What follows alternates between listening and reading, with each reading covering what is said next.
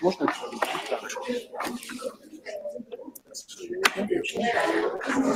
Здравствуйте, товарищи, здравствуйте. Э, давайте тогда начнем наше секционное заседание. Скажите, пожалуйста, слышно хорошо, звук есть, слышите, да, меня? Все хорошо.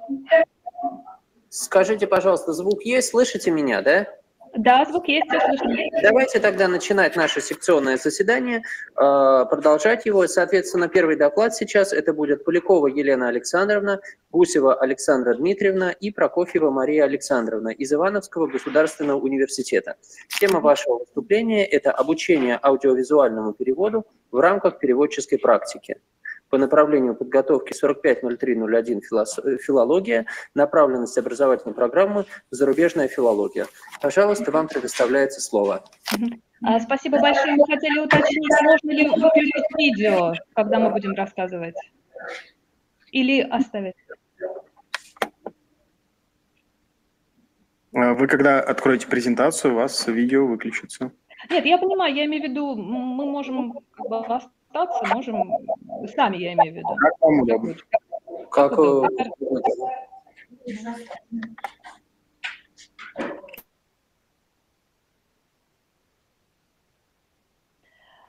а, Добрый день, уважаемые коллеги. Э, прежде всего, мне хотелось э, бы выразить огромную благодарность а, организаторам этой прекрасной конференции за возможность выступить сегодня на этой секции. А, я сейчас запущу презентацию.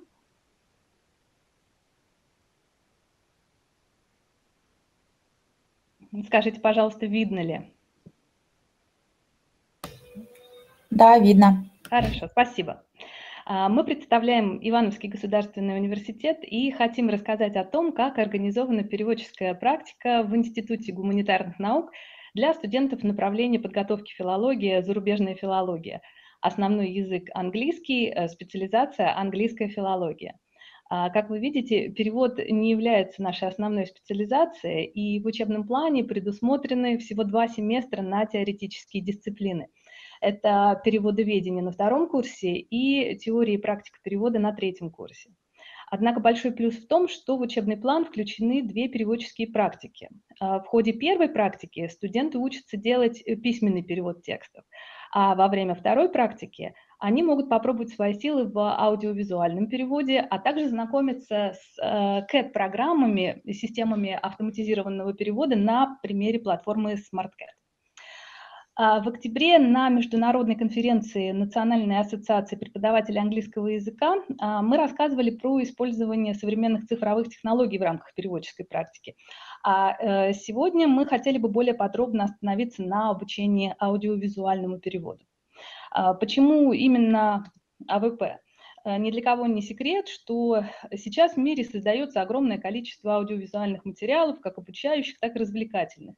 И растущие объемы аудиовизуального контента обуславливают большую популярность аудиовизуального перевода. И сейчас уже не возникает сомнений, что АВП – это отдельный вид перевода, а не подвид устного, синхронного или художественного перевода, как считалось раньше. Аудиуаль... Э, аудиовизуальный перевод является особым видом перевода в силу того, что аудиовизуальный дискурс изначально мультимодален, и аудиовизуальные произведения представляют из себя единые и взаимосвязанные, имеющие сложную смысловую структуру комплексы семантических кодов – визуальных, речевых, шумомузыкальных, жестовых и прочее. А, выделяется несколько типов аудиовизуальных произведений, которые подлежат переводу. А, перевод фильмов и сериалов, а, и игр, рекламы и так далее. Подробный разбор можно найти в диссертации Алексея Владимировича Казуляева. И когда мы обсуждаем АВП со студентами в рамках переводческой практики, мы работаем с тремя блоками – теоретический, практический и тот, который я условно называю вдохновение. В ходе Э, подготовительного теоретического блока мы разбираем понятие АВП и его основные особенности. Например, в статье Евгении Дмитриевны Маленовой к определению понятия аудиовизуальный перевод можно найти э, прекрасный обзор работ, содержащих различные подходы к определению понятия э, аудиовизуальный перевод, предлагаемые отечественными и зарубежными переводоведами. Если у кого-то из студентов потом возникает желание более глубоко познакомиться с теоретическими основами АВП, он может обратиться к этим работам. Мне кажется, важно дать студентам понимание, что существует большое количество глубоких и интересных работ, посвященных вопросам этого вида перевода. А, также, рассказывая про АВП, я как руководитель практики опираюсь на знания, полученные в ходе обучения на различных курсах а, в школе аудиовизуального перевода, а, на курсах АВП в Пермском национальном исследовательском политехническом университете, а также на курсах АВП для преподавателей перевода, организованных Ассоциацией преподавателей перевода. А, я с большим уважением отношусь к авторским правам на материалы этих курсов и всегда ссылаюсь на источники, когда использую материал, их материалы в своих рассказах. И помимо материалов данных курсов, я опираюсь на собственный опыт, потому что я работала э, переводчиком в, не, в нескольких проектах по э, переводу художественных и документальных фильмов и видеоинтервью, поэтому я хорошо представляю себе, с какими трудностями сталкивается субтитровщик. Э, студентам я рассказываю про разные виды компрессии в субтитрах, в частности, так называемую семантическую компрессию с опорой на видеоряд, умение подбирать более короткие синонимы к словам, а, стратегии работы с синтаксисом, правильная пунктуация, а также типичные ошибки. А, как говорит в своих лекциях преподаватель школы аудиовизуального перевода Дара Асташина, основная задача субтитровщика – помочь зрителю получить максимум удовольствия от видеоматериала – а, хорошие субтитры – это субтитры, которые зритель не замечает. Субтитры должны быть легкими для чтения и не нарушать восприятие аудиовизуального произведения. А, обсудив основные правила и требования к субтитрам, мы переходим к практическому блоку. Как известно, основные виды АВП – это субтитрирование, закадровый перевод и дубляж. И я про субтитры уже немножечко рассказала. А, сейчас объясню, почему мы со студентами занимаемся именно этим видом АВП. А, закадровый дубляж, на мой взгляд, более трудоемкий в плане подготовки и более сложный с технической точки зрения, тогда как обучать переводу под субтитры вполне реально при наличии у студента компьютера и установленной специальной программы. А, и сейчас мне хотелось бы передать слово своей студентке Прокофьевой Марии, чтобы она рассказала о программе, которой мы пользуемся. А, Маш, пожалуйста. Добрый день, уважаемые коллеги. Известно, что к презентации субтитров на экране предъявляются достаточно жесткие требования. Прежде всего, это связано с физиологическими особенностями восприятия человеком визуальной информации. Требования варьируются в зависимости от языка, страны и заказчика. В настоящее время существует несколько программ для создания субтитров. Мы работаем с программой Subtitle Edit. Это редактор и конвертер, конвертер, конвертер субтитров, который поддерживает более 200 форматов. С помощью этого приложения можно легко синхронизировать субтитры с видео, а также создавать новые субтитры. Этот редактор используют многие переводчики и переводческие компании, потому что он является удобным и бесплатным. К тому же его легко установить на свой компьютер и достаточно просто освоить. А и как же работать в Subtitle Edit? Сначала нужно загрузить видео, к которому мы хотим создать субтитры, и распознать тайм-коды. Потом в разделе «Параметры» перейти к настройкам и выбрать профиль. Мы выбираем профиль Netflix Russian. А у многих переводческих компаний существуют требования по созданию и оформлению субтитров, а, так называемые style guide ы. Компания Netflix разработала свое руководство для переводчиков. А для русского языка требования следующие. То есть рекомендуемая скорость чтения субтитра – это 17 знаков в секунду для взрослых и 13 для детей – и максимальное количество символов в строке 39 знаков. Максимальное количество строк – 2. Кроме этого, в руководстве представлены определенные требования к переводу имен собственных, песен, цитат и других элементов аудиовизуального произведения, а также правила пунктуации и оформления текста субтитра, что заключать в кавычки, что выделять курсивом, как писать числительные и так далее. После того, как в Subtitle Edit мы выбрали профиль э, Netflix Russian, можно приступать к работе над субтитрами. Если мы нарушаем установленные, установленные параметры, то программа сигнализирует об этом красным цветом. Например, э, в данном субтитре неправильное количество строк – три вместо одной или двух. И сразу понятно, что нужно исправить. После того, как мы внесли исправление, красный цвет исчезает. Кроме того, в этом редакторе э, есть полезная функция проверки орфографии, которая позволяет обнаружить и исправить ошибки и опечатки. И, наконец, функция исправления ошибок помогает найти и исправить ошибки в оформлении, которые иногда сложно заметить, а, например, такие ошибки, как лишние пробелы между словами. И в целом можно сказать, что в этой программе достаточно легко и приятно работать. А, позвольте сказать несколько слов про выбор материала и этапы работы. А, мы переводили видео, которое является частью проекта Minute Earth – «Минутка Земли». Этот канал представляет короткие видео о науке и нашей планете. Доступным и понятным даже не специалисту языком, а, создатели видео рассказывают об истории нашей планеты, океанах, вулканах, проблемах экологии, растениях и животных, а также об интересных научных экспериментах. Мы переводили видео «How to literally save Earth» о значении почвы в природе. А, во время работы над переводом мы разделились на команды. На курсе нас 30 человек, поэтому получилось 5 команд по 6 человек. У каждого студента в команде была своя роль. Это руководитель проекта, который распределял обязанности, следил за качеством работы, помогал команде на каждом этапе, отвечал за дедлайны. Переводчики, которые переводили текст с английского на русский, и корректор и редактор, задача которого была вычитать текст, найти ошибки и предложить более подходящий вариант перевода.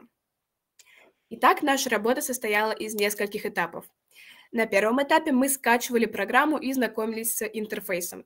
Затем смотрели видео и составляли глоссарий в общем Google документе, в который входили термины, имена собственные, топонимы или просто ранее незнакомые слова, чтобы не было расхождений в терминологии.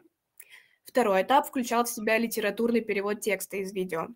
Каждый переводчик работал над своим фрагментом видео и заносил результат в таблицу в документе Google, чтобы все участники команды видели текст и могли обсудить его. Третий этап заключался в создании самих субтитров. Мы должны были следовать определенным правилам, поэтому заранее знакомились с Netflix Style Guide, в котором очень подробно описаны общие требования к субтитрам, включая ограничение числа символов, скорость чтения и тому подобное.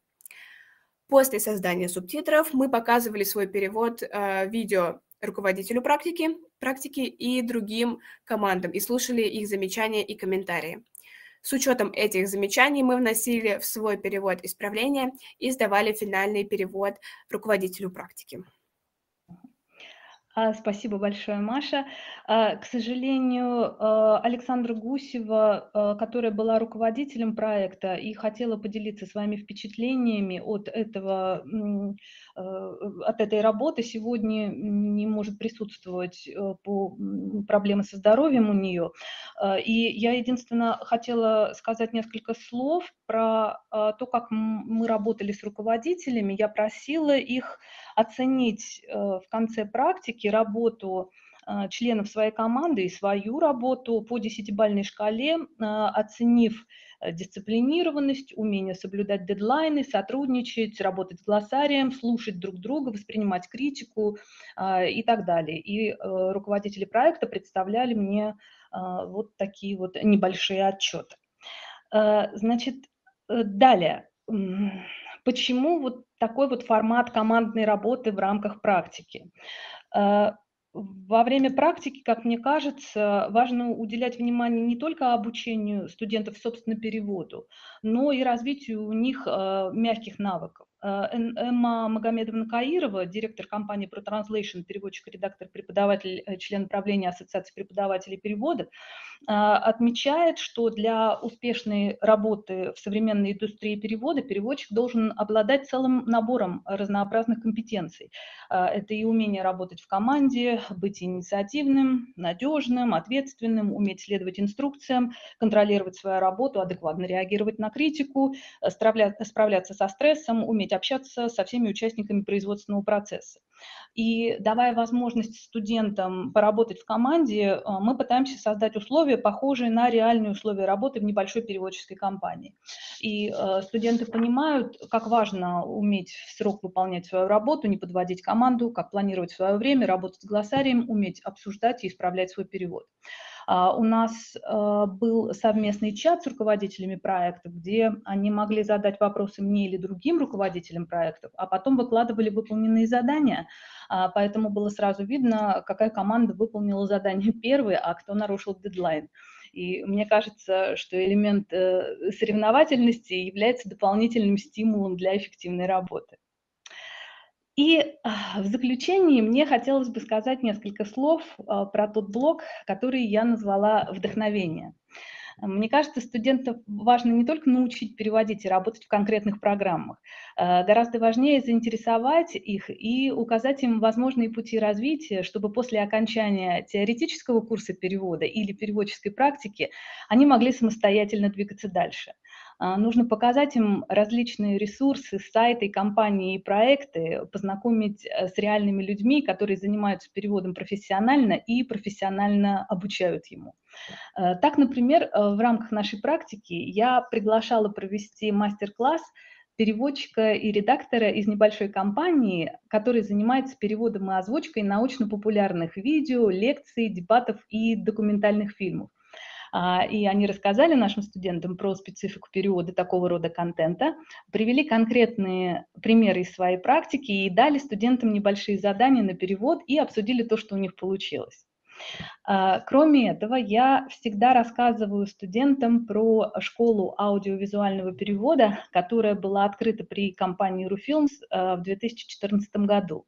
Как сказано на сайте школы, она работает на базе э, Евразийской лиги когнитивных исследований. И в этой школе опытные преподаватели, практикующие переводчики, учат переводить фильмы, сериалы и другой медиаконтент под субтитры, дубляж и закадровое озвучивание.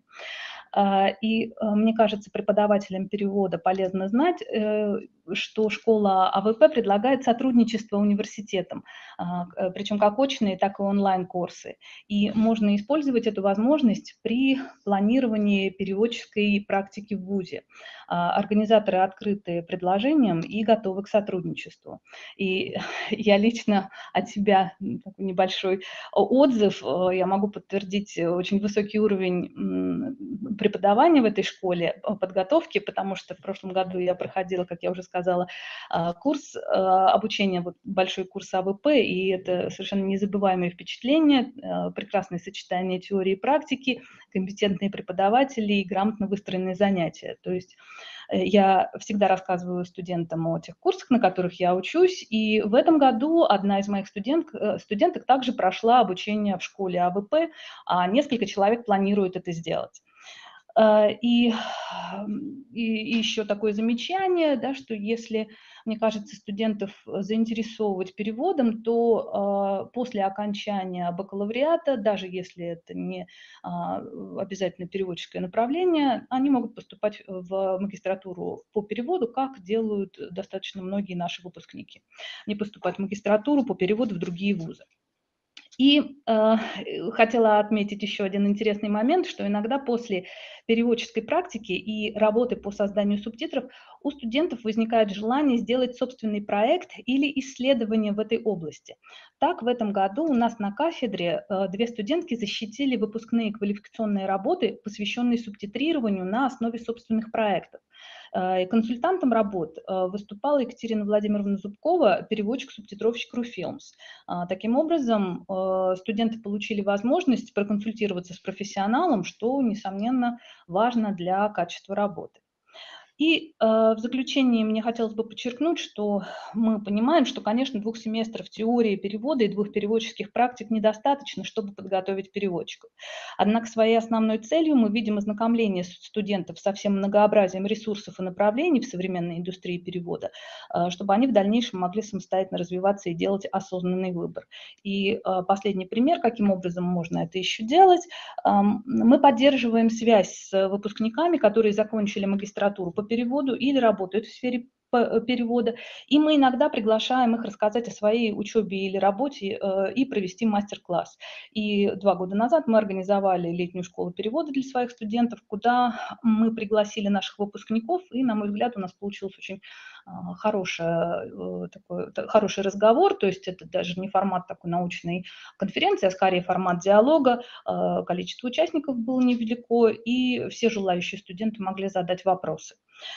Uh, у нас на этом все. Спасибо за внимание. Мы готовы ответить на ваши вопросы.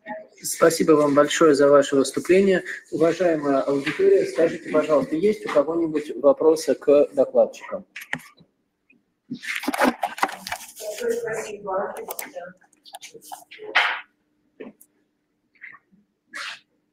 Есть у кого?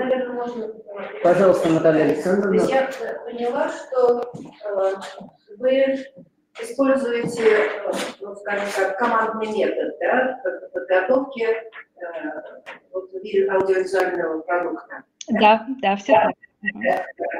И вот э, как вы так распределяете, чтобы удачно все складывалось?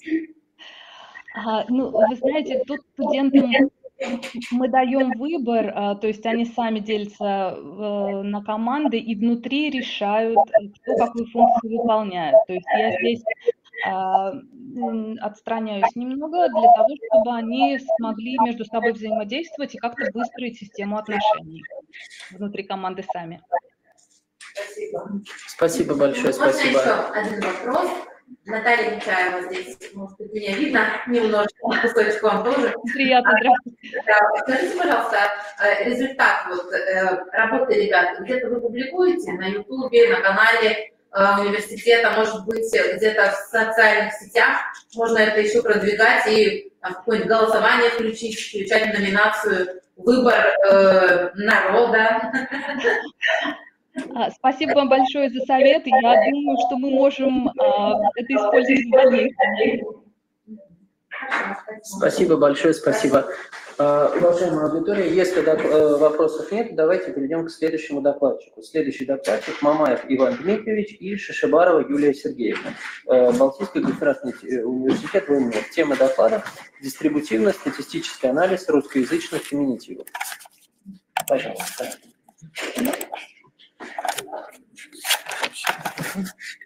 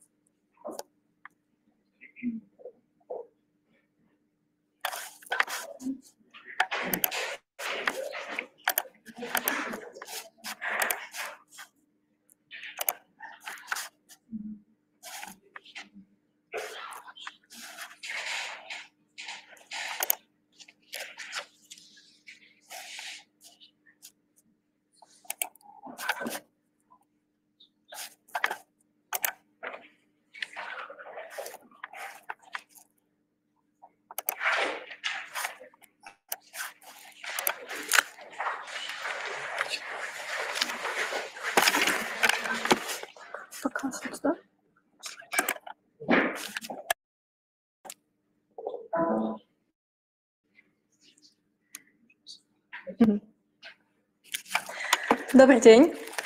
Я Юлия, студентка пятого курса, направление перевод и переводоведение. И тема моей работы – дистрибутивно-статистический анализ русскоязычных феминитивов. Все мы знаем, что язык — это динамичная система, которая изменяется с течением времени.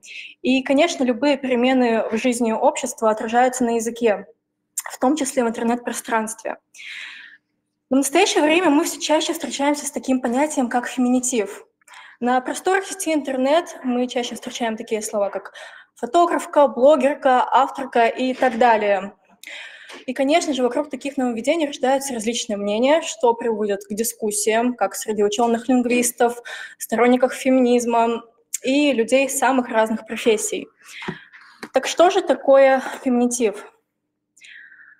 Феминитив – это слово женского рода, как правило, парное слово мужского рода или мускулативу, которое относится ко всем людям, независимо от их пола.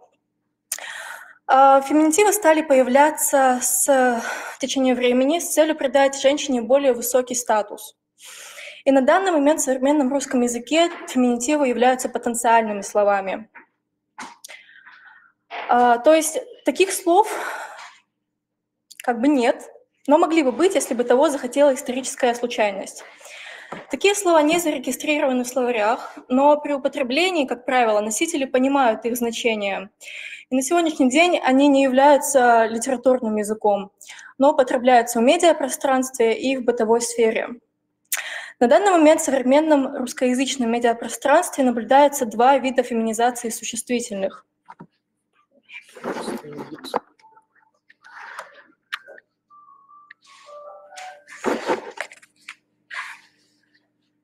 Коллеги, прошу прощения, у нас технический неполадок.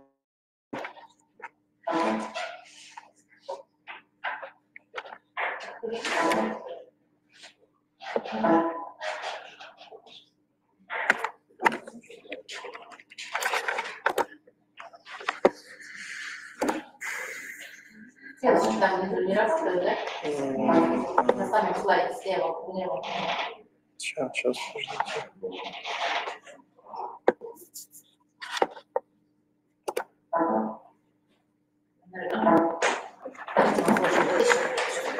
Нет, дело не в том.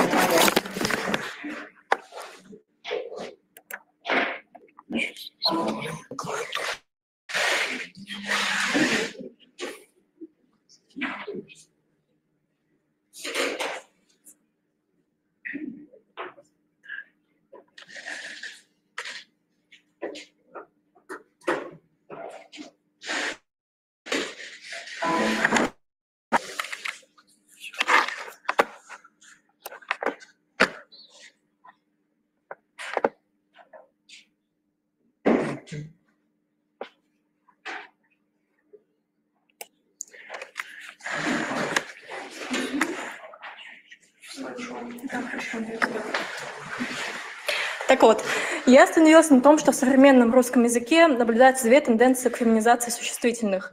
Первое – это актуализация уже существующих феминитивов, такие как э, начальница, студентка, школьница и тому подобное.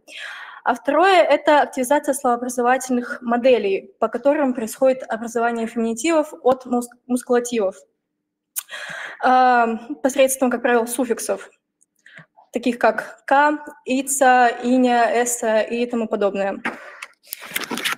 Морфологическая составляющая языка является его качественной категорией.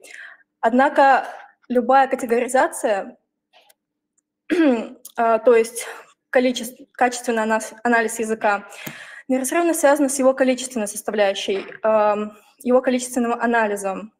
И раздел лингвистики, который занимается количественным анализом с использованием статистических методов, называется квантитативной лингвистикой. Что-то происходит. А, Данное исследование призвано восполнить существующие пробелы в области количественного изучения феминитивов в современном русском языке. Целью данной работы а, стало выявление продуктивных и непродуктивных суффиксов при образовании феминитивов от мускулативов. Для интерпретации результатов использовался один из наиболее известных и точных методов лингвистического исследования – дистрибутивно-статистический анализ. Он основан на информации о дистрибуции или же о распределении элементов текста, их числовых параметров, а также статистика комбинаторных аспектов. Мельников отмечал, что в языке происходит стихийный или естественный отбор, то есть процесс самоорганизации. На каждом ярусе вырабатывается оптимальное динамическое решение между субстантными возможностями и структурой, наиболее подходящей для этой субстанции. Однако структура и субстанция каждого языка влияют на все последующие ярусы. Данное наблюдение поддерживает идею о системности лингвистики, метод дистрибутивно-статистического анализа, который рассматривает как синтагматико-парадигматические связи, так и количественные показатели, можно считать применимым в рамках данной работы. Так как объектом исследования являются феминитивы, наше внимание будет сконцентрировано на анализе русскоязычных суффиксов, которые используются для создания феминитивов с целью выявления наиболее продуктивных словообразовательных моделей. Для успешного осуществления дистрибутивно-статистического анализа необходим грамотный и точный выбор единицы анализа. И с помощью метода сплошной выборки был составлен э, корпус из 140 мускулативов и образованных от них феминитивов. Лексемы для корпуса были отобраны как из уже существующих опубликованных исследований по русскоязычным феминитивам, так и из открытых онлайн-форумов, блогов и тому подобное. Э, А,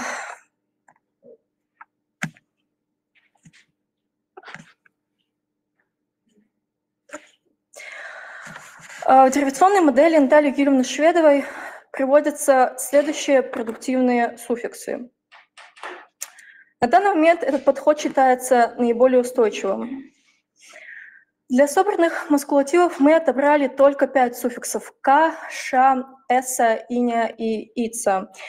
И также сложносоставные слова, в котором первая часть лексема «женщина», а вторая – выбранный нами мускулатив – Методы квантитативной лингвистики позволяют сопоставить анализируемые суффиксы, определить их продуктивность и, как следствие, их употребимость. Для получения показателя, оценивающего употребимость слов, мы использовали показатель IPM – количество употребления единицы на миллион слов. Конечным результатом исследования является вывод о продуктивности той или иной словообразовательной модели и о тенденции к возможному закреплению в языковой норме. Исследование проводилось с помощью веб-корпусов современных текстов RUPN 2011, где менеджер Sketch Engine, и RNM Rusicum, где менеджер No Sketch Engine. С помощью менеджеров корпусов были составлены три сравнительные таблицы частотного слова употребления. Для каждой таблицы были отобраны 43 мускулатива. А вот тут, конечно, проблема будет. Наша методология работы, в частности, Sketch Engine, основана на системе конкорданс. Здесь будет слабо видно. Система конкорданс. Мы выбираем этот инструмент, а, вбиваем в поле ключевое слово или фразу. И, собственно, выполняется поиск по корпусу, после чего мы можем отсортировать, отфильтровать полученные результаты и получаем относительную частоту употребления. Здесь не видно вам будет, но она здесь. А, методика работы с No Sketch Engine практически не отличается, разве что он представляет меньше возможностей, чем uh, Sketch Engine. Но суть одна. Мы выбираем нужный корпус, в нашем случае это RNM Rosicom, тихо, а, вводим слово и получаем результаты.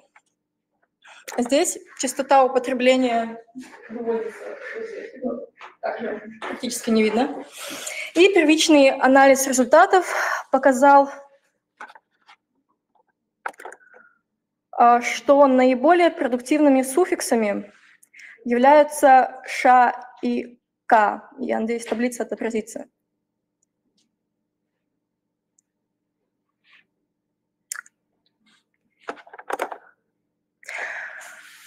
А, вот. Наиболее продуктивные суффиксы ша и к.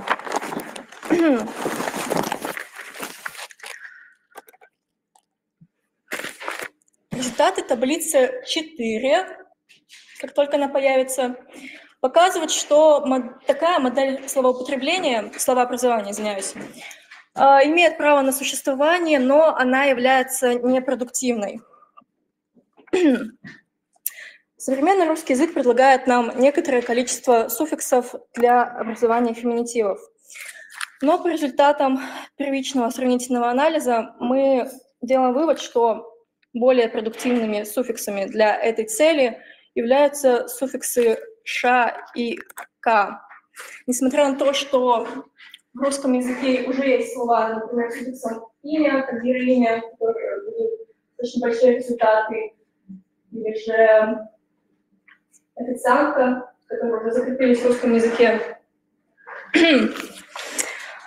А, на данный момент, помимо этого, у нас ведется подобная же работа с более актуальным генеральным корпусом русского языка или ГИКРЯ.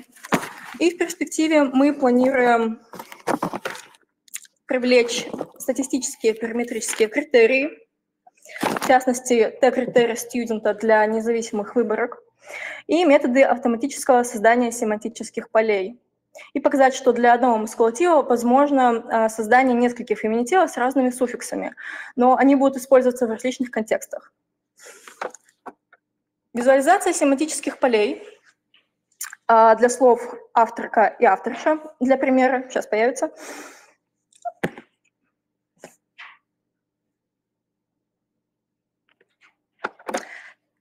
Визуализация семантических полей для слов авторка и авторша. Э, не работает, позволяет сделать вывод э, о том, что позволяет сделать вывод о том, что эти два феминитива обладают э, разным набором синтагматических и парадигматических близких лексических единиц. И поэтому они могут использоваться в различных друг от друга контекстных ситуациях. На этом у меня все. Спасибо за внимание. Спасибо большое за ваш доклад. Спасибо Давайте перейдем к вопросам. Есть ли у кого-нибудь вопросы? Пожалуйста.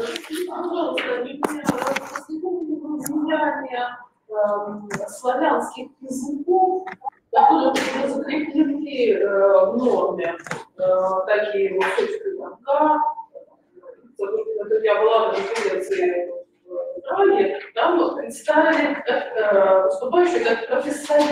Uh-huh. Да, и это ну, вполне в литературе. Ну и да, конечно, нейтральная лексика уже давно сформирована во многих языках. Например, немецкий язык, э, естественно, сюда не относится. Славянские языки мы не рассматривали, мы вообще не рассматривали влияние таких языков, потому что у нас достаточно узкая тема была именно анализ русскоязычных суффиксов, причем определение их продуктивности. Поэтому исторический контекст и влияние остальных языков пока, ну, скорее всего, не выйдут, не входили сюда. Все? Можно еще вопрос? Скажите, пожалуйста, как вы думаете при переводе, на что ориентироваться? Собственно, как переводить, если в немецком, например, языке у нас появляется а, самая типа, авторка? Ну вот это, конечно, да. Интересный момент. То есть, ну тут зависит... Канцлеры.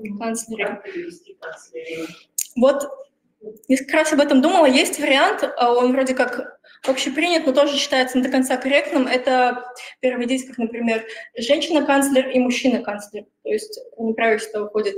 Иногда, да, переводят э, именно феминитивом на русском языке канцлерина, нет, все-таки у нас больше канцлер. Канцлерша. Но так как это не является литературной нормой... Я здесь больше не про это, а про ну, автор, например, а вот ты, например, да. Женщина-автор. Женщина-автор, да. не авторка и не автор. Ну, смотря какой текст. Если мы пишем научную работу, которая не связана с этим, скорее всего, противники гендерно-нейтральной лексики ну, зацепятся за это. Потому что очень много разногласий по этому поводу. То есть у нас принято, что слово мужского рода, оно нейтральное, но, тем не менее, сторонники феминизма так не считают. То есть от чего все зависит от целевой аудитории? Ну, в том числе... ситуации ужаса, да, визуальной какой-то нормы, которая принята там в том или иной культуре или в том или ином... Ну, на самом деле, да. заведении, может быть. Если мы переводим... Э, да, стилистика здесь в том числе. Да. Вот можно добавить, вот,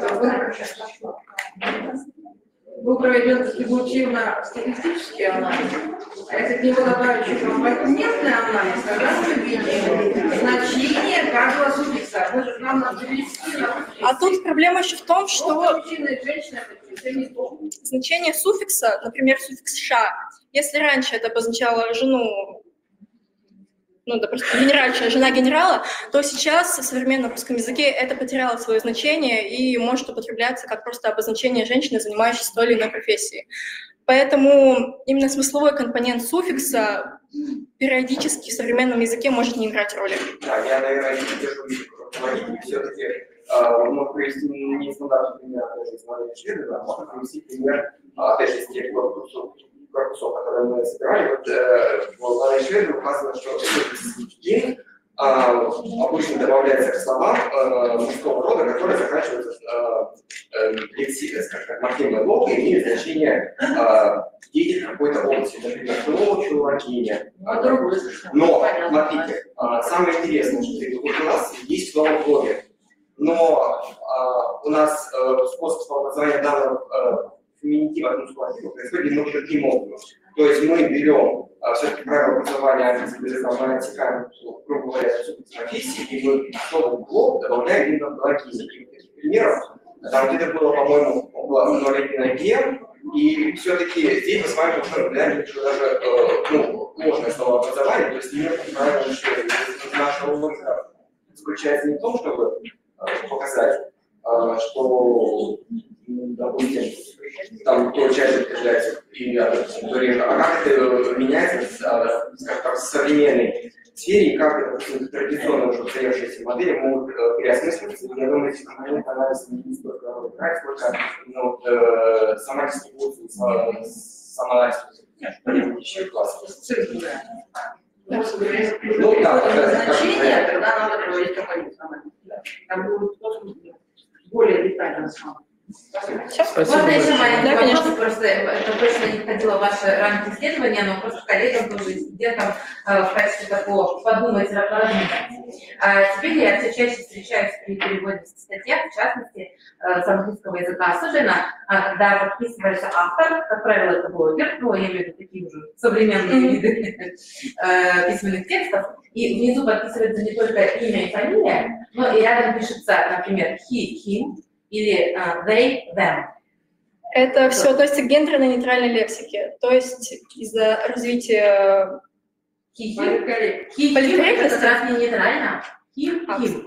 Обычно, вот, я поняла, что вы имеете в виду they, them. Мне просто и- интересно, вот, в плане А. перевода, это как вы думаете, вот вы переводите, надо это передавать, не надо. Что если пере- передаем? Он ему, его тоже надо, им тоже надо. надо учитывать э, реалии общественности, скажем так. Вот тут опять все целевая аудитория. Если мы Да, переходим, полностью это например, для конференции, э, где там тема э, равноправия, то там, конечно, мы будем передавать все. И автор, мы напишем лучше, чем если мы просто это опустим, напишем она, ей, или там they, them, не важно, то есть она, они и так далее. Спасибо большое. Это просто в качестве для помышления. Спасибо большое, спасибо. Давайте перейдем к следующему докладчику. Следующий докладчик – это Николаева Оксана Владимировна и Антипова Дарья Сергеевна. Э, Тема вашего выступления – принты на одежду студентов, лингвистическая составляющая. Пожалуйста, вам предоставляется слово.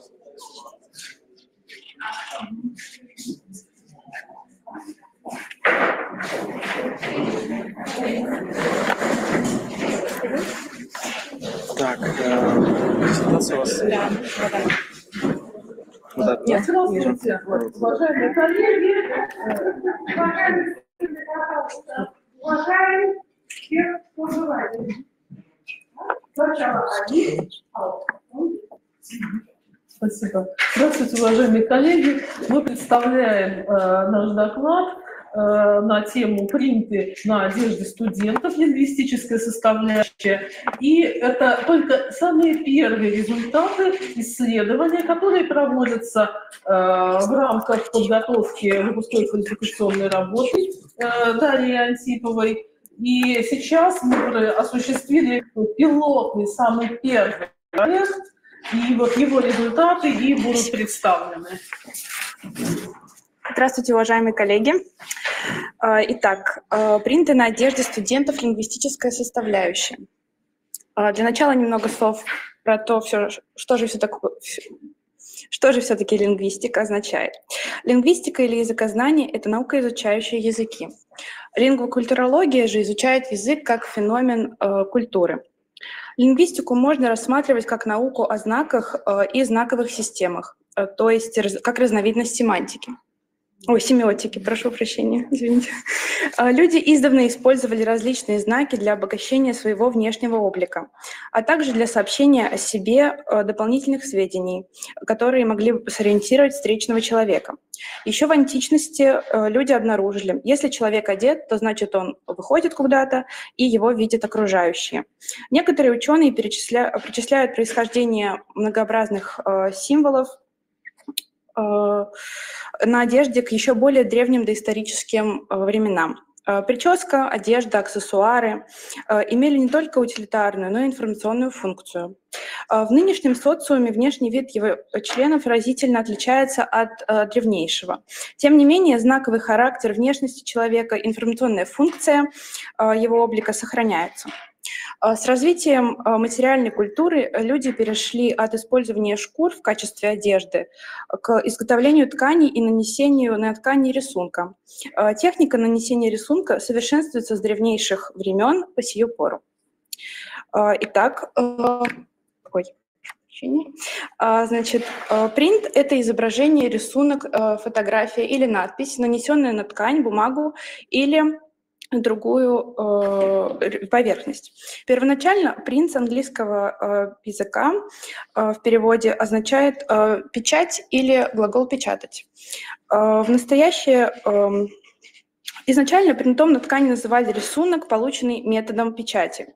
В настоящее же время принтом можно считать любой рисунок, выполненный э, в любой технике. Надписи на одежде, иногда зашифрованные в рисунок, стали мастерить еще в Древней Греции. Они сообщали имена владельцев, девизы, интересные изречения, принадлежность носителя одежды к той или иной общественной сфере и многое другое. Надпись могла служить своего рода рекламным явлением э, и провоцировать потенциального клиента на определенные действия. Э, самое древнее э, из известных в настоящее время надписей, имеющихся на предметах одежды, относится к классическому периоду античной Греции. Это обувь э, проститутки, э, хранящаяся в швейцарском музее, на которой написано «иди за мной» или же «следуй за мной». Так, по следам э, данной обуви мужчины э, находили непосредственную дорогу в бордель. Существует э, также отдельное исследование о надписях фривольного характера, Эм, сейчас вы видите автора статьи, по этому источнику можно также перейти и более подробно познакомиться с данной статьей. Вероятно, они появлялись каждую эпоху, но раскрепощение сознания в период Ренессанса особенно способствовало появлению таких текстов на одежде. На множестве итальянских и германских портретах конца 15-16 веков возможно э, представлять подобные надписи, вязанные в орнамент мужских рубашек, э, в корсаже дамских платьев. Э, на протяжении многих веков в Европе просуществовал особый предмет одежды, который ныне забыт – дамская подвязка для чулок. Э, в основе своей она представляла собой, представляла собой ленту и была очень удобна для нанесения надписи. Строго говоря, вязаные чулки носили и мужчины, и у них тоже были подвязки. Однако женские подвязки особо украшались, в том числе и словами. Эпоха просвещения во Франции несла еще и особое развитие любовной культуры для высшего сословия, что нашло отражение в моде. Исключительно в XVIII веке э, э, на данных подвязках возможно было обнаружить массу вызывающих высказываний. К концу XIX века завершился промышленный переворот в большинстве европейских стран, в том числе и в России. Одежда из кустарно выработанных тканей уступила место вещам из покупных материй. Рисунок на ткань стали наносить фабричным способом. Открылись большие возможности полихромного принта. В XX веке увеличился информационный потенциал одежды. Один из глубоких проектов экспериментов по управлению массовым сознанием зарождался в СССР в 20-е годы. Э, на сознание можно воздействовать разными путями. Родился особый декоративно-прикладной стиль, пропагандистский и, производ... и произведения искусства, и предметы быта в молодой советской стране должны были выполнять идеологическую функцию. Принты на ткани открывали колоссальные возможности и продвижение идеологических лозунгов массы трудящихся. Пропагандистский стиль, так это называлось, коротко агит-текстиль, а, было это на самом деле своего рода изображение эры знаменитых переустройств, которая последовала за революционным 1917 годом и гражданской войной в России. Новые ткани, созданные советскими рабочими для советских рабочих, были призваны отражать животрепещущие темы своего времени. Изображение тракторов, заводов а, с дымящими трубами, людей, несущих транспаранты, советские лозунги – вот основные темы агит-текстиля. Одной из основных фабрик в этом была Ивановская э, текстильная. Она выпускала хлопчатобумажные ткани, на которые отлично ложились цветные принты. Но революционный текстиль недолго выпускался. Он был раскритикован за перегибы э, и едко высмеян, в том числе и газетой «Правда». Огромное признание надписи на одежде заработали во всем мире во второй половине XX века. Они позволяли максимально удовлетворять спрос потребителя на демонстрацию идей в социально приемлемой форме. Незамедлительно отображение надписи на одежде стали прогрессивной диалоговой культурой. На слайде вы можете видеть э, Пабло Пикассо, э, известного художника, также с принтом на футболке. А, формирование конкурентного рынка принудило бизнес э, разыскать новые методы рекламы. И выяснилось, что у самого человека, обнаруживающегося э, определенным покупателем, возможно обратить э, входящую рекламу. Отсюда и развитие логотипов и слоганов от компаний на одежде. Особенно преуспели в этом направлении выпускающие спортивную одежду. В постиндустриальном обществе, век социального разобщения и стремления к оригинальности, популярной стала презентация самого себя. Легкая одежда, позволяющая иметь слоганы для разного настроения и случая, незаметно отвоевала полки шкафов молодежи. Именно эти футболки немногословно, так в Твиттере, могут э, известить. Деньги меня не волнуют, они меня успокаивают. Я мамина радость и тому подобное. А, часто а, тексты на одежде имеют ироничный оттенок и вызывают у окружающих улыбку. Впрочем, эти надписи могут отражать и социальное напряжение, например, содержать политические призывы. Из чего возможно сделать вывод, что надписи на одежде были и остаются фактором общественного настроения. Принты бывают монохромные и полихромные. Особенность, которой характеризуется монохром в одежде с использованием принта, это то, что рисунок выполняется в сходной э, по тональности цветовой гамме. Принтом украшают юбки, платья, рубашки и брюки. Понятие сузилось, и теперь принтом называют специально выполненный рисунок э, на определенном месте изделия. Принты носят информационно-декоративный, рекламный и доносят э, до окружающих определенную мысль. Кроме картинок э, и рисунков, современные принты содержат, содержат буквы, слова и даже тексты. Нами проводится широкое изучение принтов на одежде с точки зрения исследования языкового компонента надписей. Мы рассмотрим э, принты на студенческой одежде. В данный момент завершено пилотное исследование принтов на одежде студентов военмеха. Э, целью исследования является анализ лингвистической составляющей принтов. Под лингвистической составляющей принтов на одежде мы понимаем слово или группу слов, которые функционируют как единое целое. Мы формируем коллекцию принтов в форме цифровых фотографий. В настоящее время нами собрана коллекция из 112 принтов.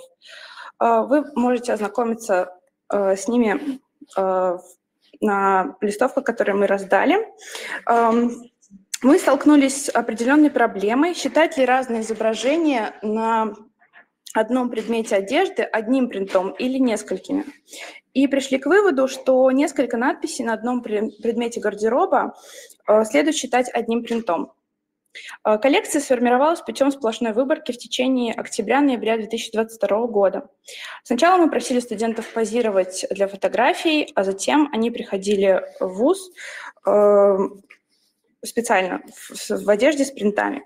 Эм, потом же ребята уже специально э, присылали нам фотографии э, своего гардероба.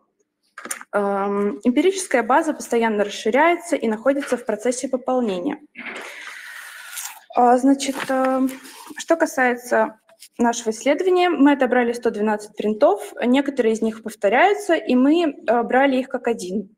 91 из них на английском, а 8 э, на русском, 6 на японском, 6 на французском, 1 на славянском и 1 на испанском. Среди них есть и принты, подходящие не только к одной категории. Особый интерес представляют философские высказывания, э, призывы к действию, их количество составляет 26. Эм, вот один из примеров э, философского высказывания. Эм, количество предметов одежды с принтами, принадлежащих мужчинам, равно 70, а женщинам 42. Также мы классифицировали принты по количеству символов. 17 принтов со словом, 93 э, с текстом и 4 с буквами. Также принты подразделились на категории в зависимости от тематики. Э, принты на тему спорт составили э, количество 16 штук, географические наименования 12, фильмы, сериалы, искусство 12 штук. Изделия, на которых ярко отображено название э, или логотип бренда, составили 22 штуки. Количество изделий э, с призывом к действию составило 26 штук. Также имело э, место разделение на монохромные принты и полихромные. Количество монохромных принтов составило 53 и э, полихромных 30. Э, так. Здесь вы можете ознакомиться с, да, с диаграммой, э, на которой ярко видно, что количество принтов на английском языке составляет большинство. Эм, таким образом, можно сделать вывод, что мужчины гораздо более при, при, Э, привержены одежде с надписями. Среди языков э, принтов доминирует английский язык. Чаще всего встречаются принты, содержащие выражения и тексты. Э, принтов спортивной тематики, например, названия спортивных клубов встречаются наиболее часто. Э, это наводит на мысль, что принты спортивной одежды несут наиболее объемный функционал. Принты служат также для манифестации жизненного креда, о чем свидетельствуют надписи призывы э, и надписи философского содержания. В целом одежда, одежда, содержащая надписи, весьма популярна у студентов военмеха.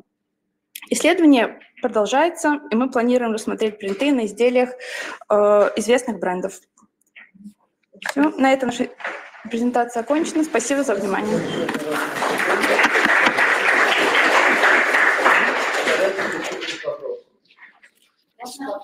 Да, конечно. Зачем цель исследования?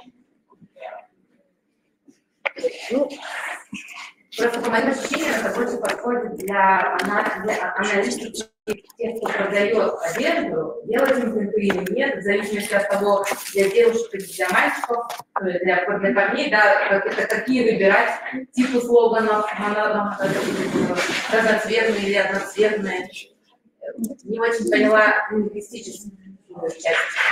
ну, вообще целью нашего исследования было рассмотреть, насколько язык э, представлен во внешнем облике человека, э, носителя, носителя одежды, является ли, например, носитель языка, носитель одежды и носитель языка одним и тем же человеком.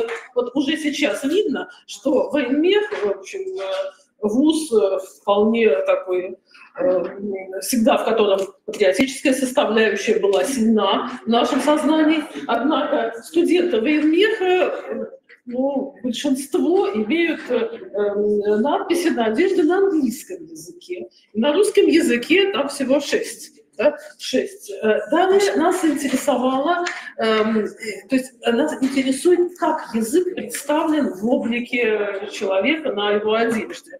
Э, и э, мы ожидали, что э, там будет, э, окажется, что это какие-то призывы, лозунги, но оказалось, что нет больше всего просто одно слово, и в основном это спортивная тематика. Представлена э, клубы какие-то.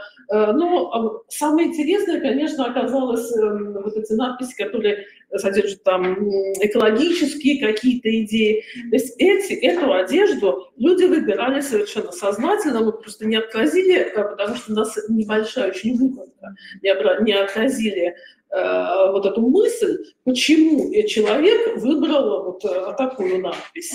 Э, э, потому что у нас недостаточно еще набрано А, количество. смотрите, то есть какой-то Да. вопрос еще проводится. Да, но, ну, сначала мы просто фото- фотографировали, а потом стали задавать вопросы, как в процессе вот работы, мы обнаружили очень интересные надписи и стали задавать вопросы. И оказалось, что человек разделяет вот идеи, которые на нем написаны. Поэтому в основном, наверное, еще поскольку исследование только Да. началось, да, пока мы слышим психологическую, социальную составляющую, а лингвистической, да, хотелось бы и Да. и более конкретно, лингвистическую составляющую на предмет прагматики или на предмет э, отдельных лингвистических каких-то уже аспектов. Да, ну это все вот... э, Дайте, дайте мне кажется, что нужно добавлять, потому что э, студенты носят, а еще с другой стороны, что в магазинах продают, потому что, э, мне кажется, на английском языке просто и притом. Да, да. да. Да, со- совершенно верно. Я сама хотела купить для внука одежду с русской надписью, а оказалось, что там, э, что очень, тру- очень, да, не так. Надо искать, есть Да, да. спасибо. Но нас Часто на самом деле люди выбирают не, не, не так уж осознанно. Вот надпись более-менее нейтральная, что есть, то и купил, дорого и взял. Понимаете? Не яркий там купол, мне не надо там что-то такое петушиное, да, и я, э, или там наоборот, да, что-то очень мрачное, я взял. Да, вы совершенно, вы совершенно правы. И э, просто это еще ну, не отражено. Но, в общем, это получится даже не столько в лингвистике, сколько в лингвокультурологии, э, в лингвокультурологическом аспекте будет повернута, скорее всего, наша работа. Спасибо. Спасибо большое. Спасибо большое.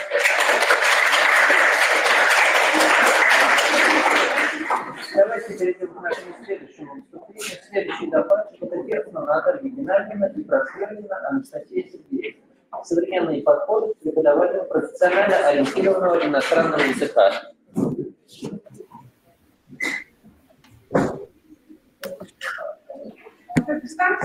Да, да, да, это выступление в дистанции. Пожалуйста, вам предоставляется слово. Пожалуйста.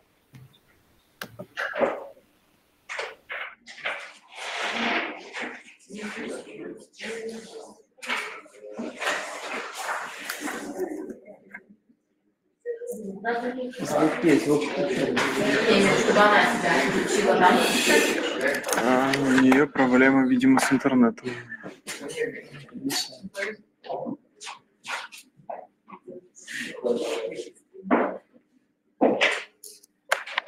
Анастасия, вы нас слышите?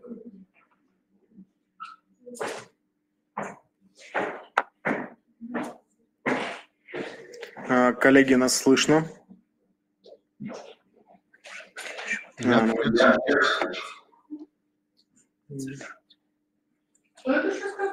Нет, нет, она вылетела, она сейчас переподключается. Э, Товарищи, давайте, может быть, мы перейдем пока к следующему докладу, пока технически здесь. А, подождите, вот Слышно меня сейчас? Да, Анастасия, Да, мы вас слышно, слышим. слышно, да. Отлично, замечательно. Ам, хорошо. Спасибо в первую очередь за организацию конференции и возможность выступить, а, и коллегам за интересные доклады. Видно ли презентацию сейчас? Да, видно. Да, да, да, видно, да. Отлично. А, Меня зовут Просвирна Анастасия Сергеевна. А, Я студентка третьего курса по направлению бизнес-информатика Санкт-Петербургского политехнического университета имени Петра Великого. А Работа выполнена под руководством Ферсма Натальи Геннадьевны, доцента гуманитарного института того же вуза. А, Сегодня мы бы хотели поговорить о методах обучения в целом, о целях обучения профессионально ориентированному иностранному языку, дальше перейти к активным методам обучения, а, рассмотреть некоторые цифровые инструменты, применяемые при обучении студентов иностранному языку. И а, также хотелось бы рассказать о результатах эксперимента, который мы провели для установления эффективности активных методов обучения на примере ролевой игры. А, методика обучения – это система знания о закономерностях процесса обучения неродному языку и о путях воздействия на этот процесс с целью оптимизации. Сейчас существует а, множество подходов к преподаванию профессионально ориентированного иностранного языка, и одной из главных проблем является необходимость освоения не только а, лексическими и грамматическими навыками, но также и развития некоторых компетенций, в первую очередь коммуникативности – это необходимо для того, чтобы студенты могли а, применять полученные а, знания а, на практике и не теряться в ситуациях, с которыми сталкиваются в своей профессиональной жизни. Для начала рассмотрим классификацию традиционных методов обучения, которую предложили такие ученые, как Верзилин, Голланд, Петровский и другие – эта классификация основана на пяти источниках знания – практика, наглядность, слово, книга и видео. Методы обучения бывают практическими, наглядными, словесными, а, выраженными в работе с книгой и видеометоды. Дальше мы переходим к активным методам обучения и приближаемся к ролевой игре, которая стала основой нашего эксперимента – при а, активном методе обучения мы переходим от а, регламентирующих, алгоритмизированных форм и методов к организации процесса, который больше связан с развитием, с исследовательской деятельностью и с повышением интереса к будущей профессиональной деятельности у студентов. К плюсам относится развитие коммуникативности, которую мы упоминали в начале, в начале. То есть это умение применять а, полученные знания в реальных ситуациях. А, можно хорошо знать грамматику, но прийти на мероприятие и не суметь связать слов, потому что а, не развита такая компетенция. Во-вторых, это повышение интереса студентов. Когда мы переходим от строгих правил к творческой деятельности, повышается мотивация и улучшаются результаты. А также это больший вес работы студента – а, то есть если в традиционных методах обучения а, основная часть работы ложится на плечи преподавателя, при применении активных методов обучения а, студенту тоже необходимо прикладывать большее количество усилий. К минусам можно отнести большее время подготовки к занятию преподавателем. То есть если речь идет о какой-то игре, нужно подготовить материалы, раздаточные материалы, цифровые материалы и организовать деятельность наилучшим образом. А, давайте рассмотрим методы активного обучения и методы преподавания иностранного языка. К методам активного обучения относятся дискуссионные, тренинговые, рейтинговые и игровые методы. А к методам преподавания иностранного языка коммуникативный метод, метод активизации, проектный метод, метод деловых и ролевых игр и метод оценки качества сформированности коммуникативных умений.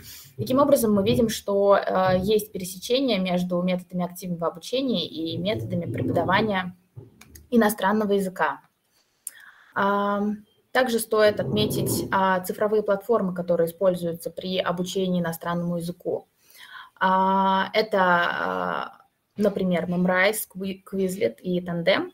А, первые два приложения похожи между собой, и их связывает то, что они построены на основе игры. То есть участники, проходя а, задания, которые в основном связаны с запоминанием а, слов, получают баллы, есть рейтинг, и все это связано с мотивацией студента идти дальше. А тандем чуть отличается. Это платформа, а, для практики иностранного языка. А, можно встретить людей, которые являются, для которых английский язык является родным. Можно встретить таких же студентов, которые обучаются иностранному языку из других стран и практиковать а, говорение. Идем дальше. Мы выдвинули гипотезу о том, что а, активные методы обучения благотворно влияют на процесс обучения иностранному языку. А в качестве исследуемого метода мы выбрали ролевую игру. Для этого мы сформировали две группы студентов, которые обучаются по направлению бизнес-информатика. Первая группа состояла из 18 участников, и вторая группа состояла из 20 участников. А, учебный план групп совпадал, а, и целью эксперимента было установление разницы в восприятии материала при применении традиционных методов обучения и при использовании ролевой игры. А, за основу был взят учебник «Бизнес 2.0» уровня Upper Intermediate. Темой было прохождение собеседования на иностранном языке. В группе А занятия проводились привычным для студентов способом, то есть были применены традиционные методы обучения. А в группе Б а, мы провели ролевую игру. Суть заключалась в том, что студенты должны были разыграть ситуацию трудоустройства в маркетинговое агентство, которое находилось в поисках ведущего специалиста. А, мы создали карточки с ролями интервьюер и интервьюируемый. А, и всем, кто проходил собеседование в роли интервьюируемого, выдавались соответствующие легенды, которые описывали их опыт работы примеру, были такие карточки, как женщина в возрасте 26 лет, а, имеет опыт работы редактором в интернет-издании, а, нет навыков управления, находит сложным делегировать задачи. А, общительная, ответственная, но склонна откладывать выполнение задач. Студентам было необходимо пройти собеседование не просто практикуя лексику, но и примерив на себя маску роли, которая ему попадалась. А, после прохождения а, ролевой игры у студентов сформировалось понимание процесса прохождения собеседования на иностранном языке. То есть они не просто посмотрели слова и знают, как перевести собеседование на работу, но и могут на практике а, реализовывать эти навыки. После прохождения ролевой игры было предложено пройти анкетирование, и по результатам 100% учащихся хотели бы повторить участие в ролевой игре – 85% не столкнулось с трудностями в рамках выполнения задания, 90% считает, что отработка навыков прошла эффективно, и 10% студентов не хватило строгости правил. Это было ожидаемо, потому что а, в директивных заданиях а, не каждый студент может сориентироваться и быстро подхватить а, новые правила. Давайте посмотрим на результаты исследования. В табличке представлена а, представлены результаты теста, которые учащиеся проходили до а, отработки навыков и изучения новой лексики и после. А, таким образом, мы видим, что в группе А количество правильных ответов на тест увеличилось на 54 процентных пункта с 24 процентов до 78 процентов, а в группе Б с 21 процента до 88 процентов то есть на 67 процентных пунктов. И это позволило нам сделать вывод о том, что применение активных методов обучения улучшило освоение материалов на 13 процентных пунктов. А, также мы сделали вывод, что активные методы обучения способствуют развитию заинтересованности студентов, повышению мотивации, а также позволяют использовать знания на практике с помощью применения сценариев, с которыми будущие специалисты столкнутся в своей профессиональной деятельности. В рамках этого исследования мы провели эксперимент а, только на основе ролевой игры, а в дальнейшем а, было бы интересно проверить, как а, на усвоение материала влияют и другие а, инструменты активных методов обучения. А, спасибо за внимание. Мы готовы ответить на ваши вопросы. Спасибо большое за ваше выступление. Давайте перейдем к вопросам.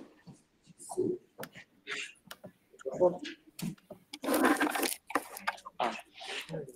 Давайте перейдем к вопросам. Пожалуйста. Можно ли утверждать после вашего исследования, что в принципе все преподавание нужно перевести вот в русло ну, ролевой игры? а, использовать ролевую, если я правильно услышала вопрос. Как основное, да, преподавание иностранных Или все-таки э, дело вот в том, в чем. Почему я задаю этот вопрос? Потому что есть еще исследования, э, говорящие об опасности очень интенсивного использования таких методик потому что человек э, отличается мыслить системно, логично, настойчиво и предпочитает играть, то есть превращается в игроман, в том числе в изучении иностранного языка. э, что не приводит к глубоким результатам на самом деле. То есть поначалу это э, как развлечение вызывает интерес, а вот дальше все начинает тормозиться. Вот об этом вы ничего не знаете. Спасибо за ваш вопрос. А, я думаю, что наиболее эффективным было бы а, соединять традиционные методы обучения, как а, направленные на удовлетворение потребностей студентов в системном подходе к обучению иностранному языку, с активными методами обучения, которые развивают творчество. И тогда я как сказала, что Традиционные методы – это про систему получения новых а, знаний, а активные методы обучения – это про закрепление мотивации, развитие творчества, развитие мотивированности к обучению и развитие а, возможности применения этих навыков. А, возможно ли мне еще отметить, добавить? Слышно меня? Да-да-да, слышно, слышно. Здравствуйте, коллеги. Как знаете, я присоединилась к вам, вы нам дали возможность выступить.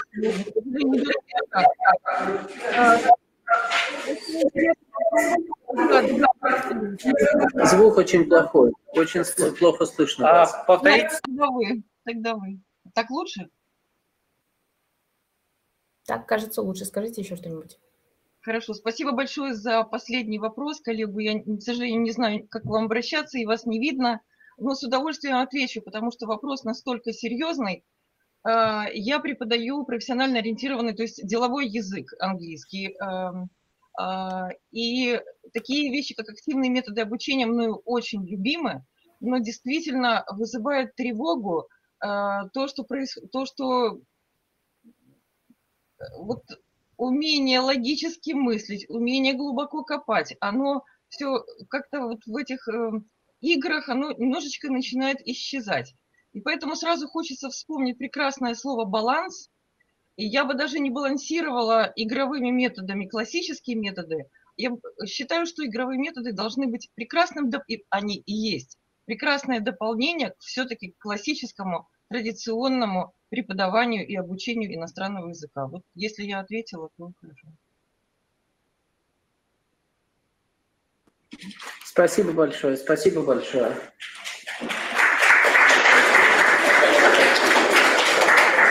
Давайте перейдем к следующему докладчику. Матеева Софья Павловна и Маслисин Валерий Александрович. Тема вашего выступления – язык вражды в зарубежных средствах массовой информации.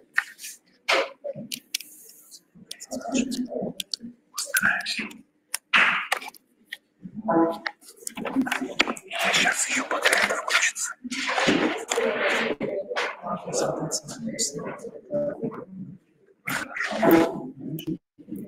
Тоже, да? Тоже онлайн? Нет, нет, докладчик. Да. Нет, я онлайн. Началось. Да, вот сейчас.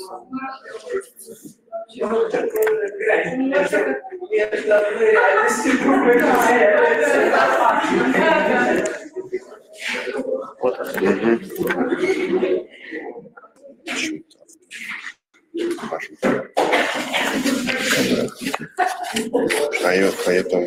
Авторы могут а, ее видно.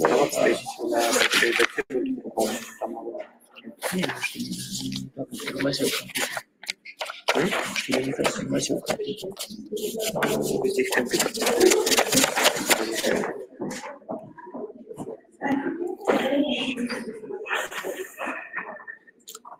Мы ее полностью откроем. Да, камера еще раз нас видит. Нет, пускай уже запустится. Полностью. Я только что говорила, что какой я хороший. Только сейчас. Вывернуло напряжение.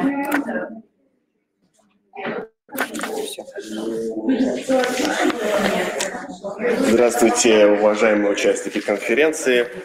Сегодняшняя тема моего доклада – язык вражды в зарубежных СМИ. Современные СМИ являются одним из важнейших рычагов формирования общественного мнения. Манипулятивные тактики и приемы все чаще становятся распространенным методом воздействия на читательскую аудиторию. В последнее время особенно часто в прессе наблюдаются тенденции к проявлениям интолерантности, что противоречит принятым журналистским нормам, правилам и принципам. В соответствии с этическим кодексом, журналист, наоборот, должен устранять неосведомленность и непонимание в отношениях между народами, Э, пробуждать восприимчивость к нуждам и желаниям народов других стран, обеспечивать уважение прав и достоинств всех наций, всех народов и всех людей вне зависимости от пола, расы, языка, национальности, религиозных взглядов и философских убеждений. Принципы профессиональной журналистской этики предписывают проявлять уважение к ценностям национальных культур, к правам и свободам человека. Нравственная обязанность уважать э, всеобщие ценности гуманизма требует от журналиста воздерживаться от любой формы подстрекательства или оправдания агрессивных войн, от апологии иных форм насилия, ненависти дискриминации. Таким образом, для медиадискурса неприемлемое разделение э, наций на своих и других, что нарушает журналистские нормы и правила. Язык вражды – это язык, э, на котором СМИ говорят с аудиторией, проявляя явную и неявную интолерантность в своих публикациях. Ван Дейк отмечал, что деление группы на свои, мы и другие они категоризируются в языке, где они – это этническое меньшинство, имеющее определенные отрицательные черты, стереотипы, характеристики, номинации и мифологемы период обострения конфликтной ситуации интолерантное отношение проявляется на различных уровнях языка. Медиадискурс строится вокруг актуальных общественно-политических и социально-экономических событий. В последнее время язык вражды или speech представляет большой научный интерес для лингвистов, социологов, этнологов и политологов. Целью данной статьи является анализ англоязычных газетных публикация за 2022 год на предмет проявления языка вражды по отношению к России русским. Фактическим материалом для исследования послужили зарубежные новостные статьи The Washington Post и The Mirror. Существуют международные российские профессиональные этические стандарты, которые так или иначе регулируют речевые или языковые действия, имеющие отношение к языку вражды. По степени проявления язык вражды классифицируют на следующие уровни – Жесткий, проявляющийся через призывы к насилию и дискриминации.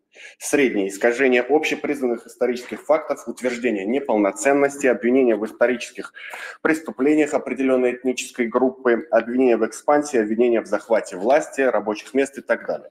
Мягкий – создание негативного образа, обвинение неполноценности, криминальности, моральных недостатках, оскорбления и цитирования ксенофобных высказываний. Согласно модели Якобсона, можно проиллюстрировать э, механизм функционирования любого языка, в том числе языка вражды, через коммуникативную, эмоционально-экспрессивную, фатическую, коннотивную, идеологическую, металингвистическую, аксиологическую, валентативную функцию. Язык вражды становится индикатором проявления э, в различных формах, толерантности в различных формах, явной или скрытой, сознательной или нет. Э, таким образом, критерий уровня проявления толерантности может быть оценен э, как положительный, нейтральный или негативный. В медиадискурсе язык вражды становится одним из самых эффективных средств манипулятивного воздействия на читательскую аудиторию. Журналисты используют все возможные средства речевого воздействия на различных уровнях языка – невербальном, фонологическом, лексическом, грамматическом. Таким образом, язык вражды – это базис, который в языке СМИ, СМИ может быть выражен разными языковыми средствами и разными способами структурного построения текста. Анализ публикаций за 2002 год показал, что меньше всего проявление языка вражды на фонологическом уровне, что может проявляться в публикациях через аллитерацию, рифматиз, э, рифматизацию, рифмизацию. Например, в заголовке статьи Путинс, Распутин, Дота, Фолд и так далее присутствует следующая рифма.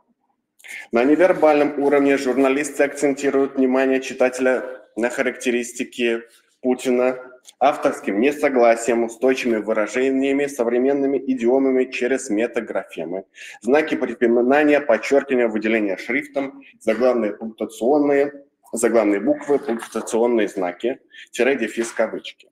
Методом, методом сплошной выборки выявлены приведенные примеры Читать я их не буду, все видно. На лексическом уровне интолерантность проявляется нагляднее и чаще. Такими маркерами в тексте могут служить стилистически сниженные лексемы, дискредитирующие личность и формирующие восприятие объекта, как подозрительного, нежелательного, вызывающего неприязнь, отвращение, ненависть. Особое значение приобретают штампы и клише, апеллирующие к определенным стереотипам и феноменам, прецедентным именам и прецедентным текстам, историческим фактам, имеющим в сознании людей значение своего или чужого. Приведем следующие примеры. Перефразы «Мода Russia», «Evil Empire Russia», «Ца», «Путин». Оказионализмы. Путинизм, deputinized, садими Путин, uh, racist, deputinization. Uh, софистицизмы, негативно маркированные идеологемы Russian fascist, Russian hardcore nationalist, Russian neo-Nazis, аллюзии Putin's blood and iron policy. Тропы, сравнительные обороты. Like many dictators Putin. Putin acting like Hitler, like Hitler и так далее. Устойчивые обороты. To cut the head of the snake amidst Putin invasion of Ukraine. Метафоры, засемантические, They have driven the orcs, even the fascists were not as wild as these orcs among the Putin's weapons. Well, among the weapons in Putin, Putin's arsenal are his cyber warfare, warfare trolls. Метафорическое употребление имен исторических лиц, олицетворяющих осуждаемые нравственные качества. Send the Jews back to the Nazi Germany. Let them overthrow the Hitler. Uh, На грамматическом уровне язык вражды выражен в виде пассивного или страдательного залога, слагательного наклонения различных времен глагола артикля. Среди выразительных синтаксических средств необходимо отметить эллиптические конструкции и параллельные конструкции, инверсию, обособление, выбор коммуникативного типа предложения.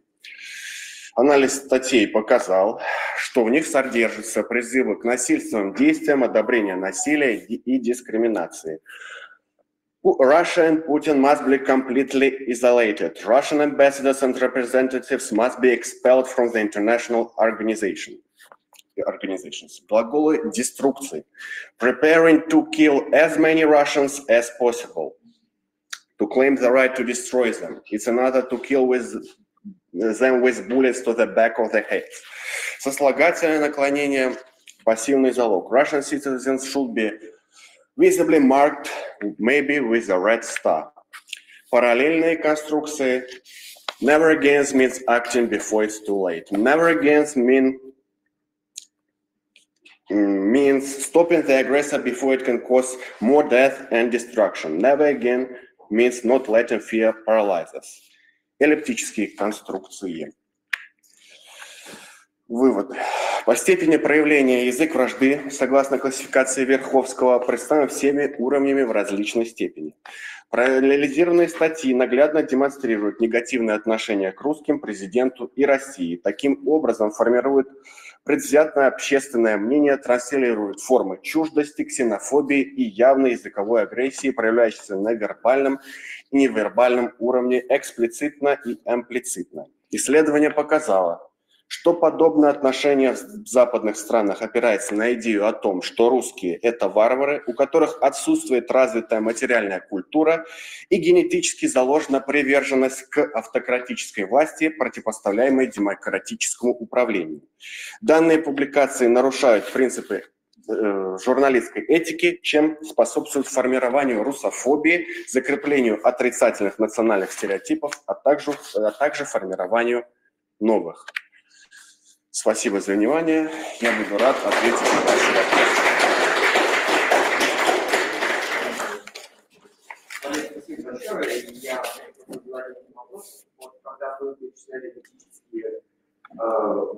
Э, расходы выражения агрессии на всем уровне, как раз были рационализм, по-моему, среди них, один из них как раз про Путина, что там такое было. Вот. Вот как вы можете объяснить способ образования этого казинолизма и, в принципе, его Спасибо за вопрос. Э, Оказионализм Седими Путин, э, сам Седимир, образован слиянием двух слов, слова «сед» – грустный, и окончания имени Владимир – имер. Э, Сам этот данный оказионализм обозначает подавленное состояние президента Российской Федерации. А вот в контексте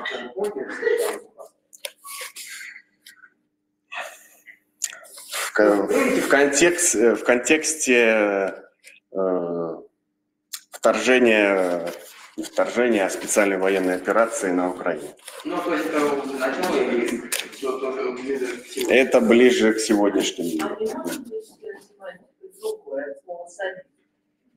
Нет, я просмотрел там именно от слова sad э, как грустный. А там была, например, фотография? э, Да, там была фотография как раз, да, там была фотография, где э, Владимир Владимирович плачет.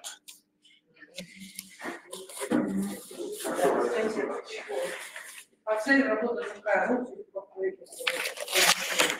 Цель работы является анализ англоязычных газетных статей и нахождение там языка вражды по отношению к России, русским. А вы что не исследовать.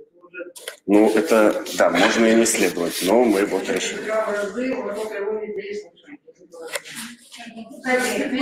Направление исследования, возможно, материал пригодится вам, дальше будете анализировать. Хотела предложить такой, посмотрела, компьютер, но. На английском языке тоже есть, возвращаясь к теме простого язык языков, который тема СМИ у нас вообще отдельная тема.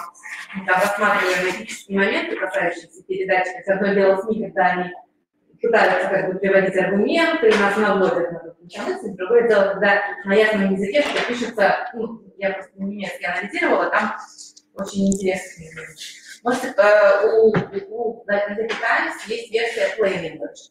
И вот интересно, насколько там это трансформируется, меняется, не меняется, на- насколько там меняются градусы или количество вот этих разных враждебных высказываний, можете проанализировать, потому что это может там что-то трансформироваться.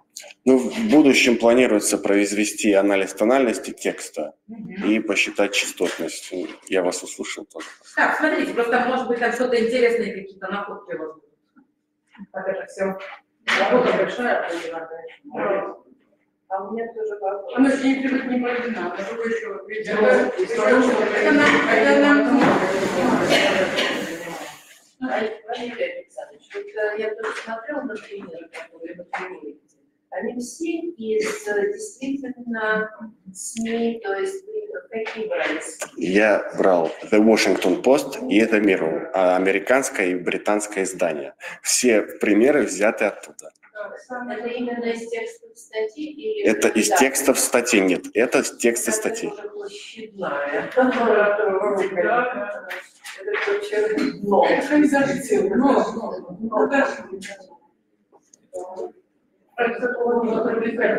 Да. Да, очень явно там.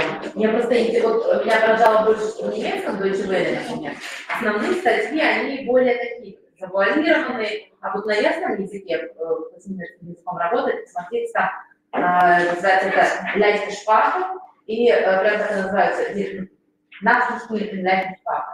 Вот, э, там э, вот как раз все очень явно, почти вот так написано, только э, с главными фразами, но конкретно, то есть никаких у России нет еды и одежды.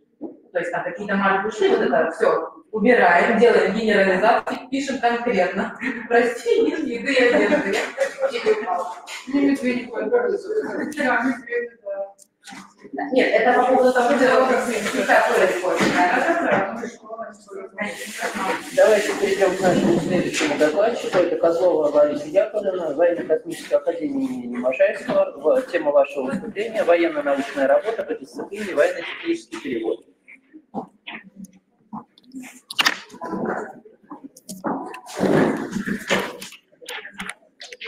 Я буду краткой. Как всем понятно, что я не из э, специального вуза, да, мы специально переводом не занимаемся. Поэтому, вероятнее всего, э, мой доклад будет интересен преподавателям, и то с точки зрения сравнительной либо тем э, студентам, которые подрабатывают где-то в технических вузах. Угу.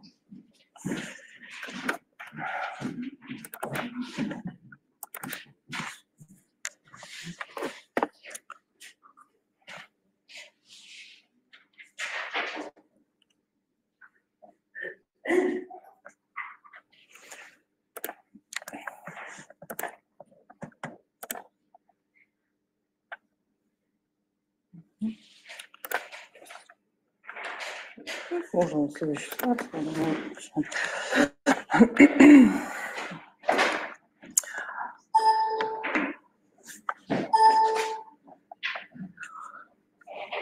Ну, на слайде вы можете видеть э, нормативный, значит, э, тему э, военно-научная работа, она была объявлена, причем я, я веду дисциплину военно-технический перевод на пятом курсе нашего вуза.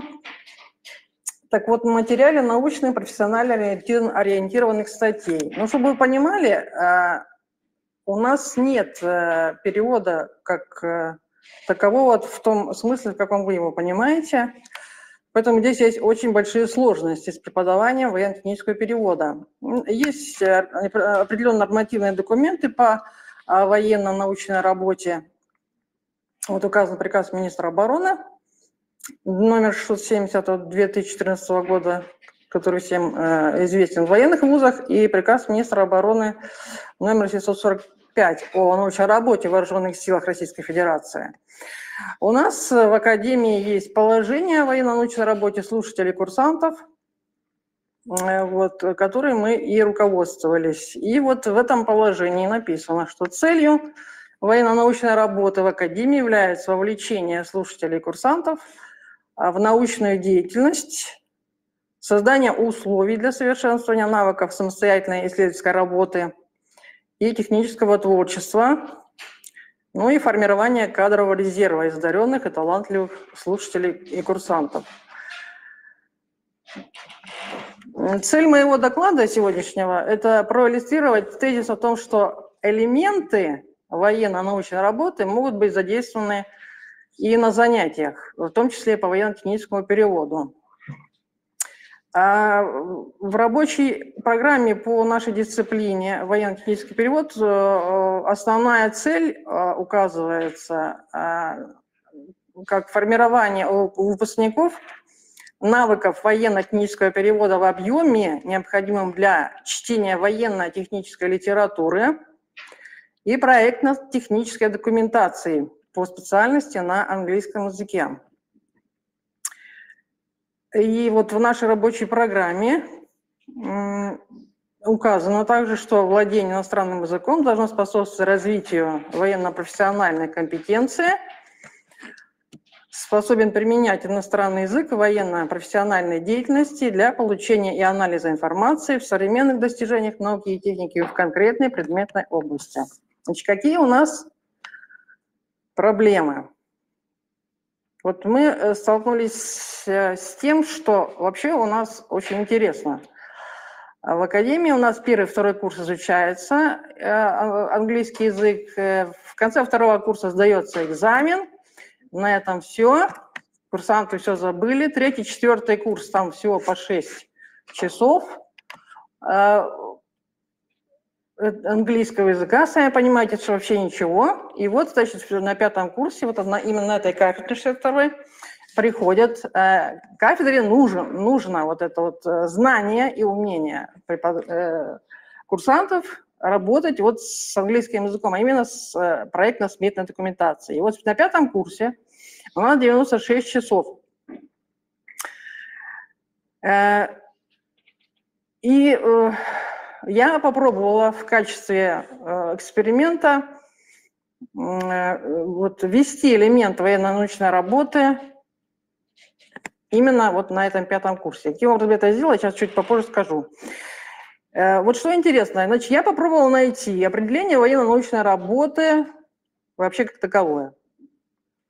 Ну и прямо скажу, что, что вот то, что мне надо было, я не нашла. Значит, в основном говорится, что военно-научная работа – это вот деятельность, обычно не учебное время, это э, конкурсы, там, э, семинары и так далее, э, какая-то деятельность вот именно во внеучебное время.